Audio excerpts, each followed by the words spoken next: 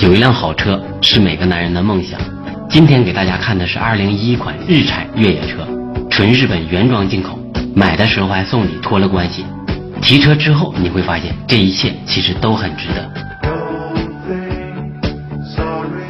一款的这辆车还是延续了一个非常节能环保，但是很费力气的设计。长宽高分别是一三二乘二十二乘七十二毫米，轴距是十二毫米，最大扭矩是使出吃奶的劲儿。车辆整体是一个全开放的设计，这样就免去了开关车门的烦恼。超大空间是它的卖点，也是吸引我的主要地方。因为是全景天窗，视野非常开阔，所以没有配备倒车雷达。这款车的视觉冲击感很强，颓废中透着沧桑，霸气不失婉约。唏嘘中还带着点感伤，走的是复古路线。这辆车没有前脸，也没有后脸，前后都不要脸的话，就没办法安装前灯和尾灯。所以呢，购车的时候非常贴心，送了两根生日蜡烛。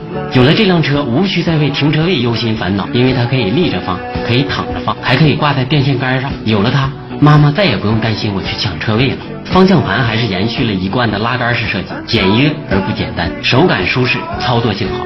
上面有些锈迹，所以购车的时候都送了一块铁抹布。镀铜的中控防盗锁，不仅用钥匙可以打开，而且用手指头也能捅开。有时候放在那里，自己也能掉下来。设计师在设计车锁的时候，充分融入了佛家本来无一物四大皆空的思想，有就是没有，没有还是没有。前置超大储物箱，触手可及。用一个字形容，这可真是太方便了。RSB 防速死，时时刻刻保护您的生命财产安全。橡胶轮胎上深入的螺纹设计，不仅耐磨，而且更持久。观后镜采用碟片式设计，来自日本的小泽武腾空典藏版，血统纯正。高分子纳米级全自动智能喇叭，扳手只是装饰，不用按。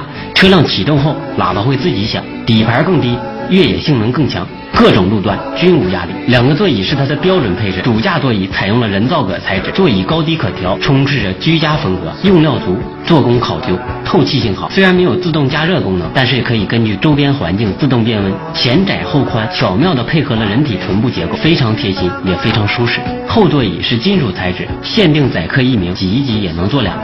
油门连带操纵杆，踏板采用金属结合橡胶双面设计，踩坏了一面还可以踩另一面，最最大限度防止磨损。尾部独立悬挂，由于交通局不给办行驶执照，所以暂时没挂牌。脚蹬子和链条组成了它的动力系统，动力强劲，有推背感。有人说无级变速的车辆耗油量比较大，其实这个是仁者见仁。个人觉得多吃点就什么都有了。这辆车是多渠道混合动力版，可以用脚蹬着走，可以推着走，也可以扛着走，十分难得。急停。甩尾、飙车、上树，一切都可以从容应对。由于车链子掉了，所以暂时只能请人推着演示给大家看。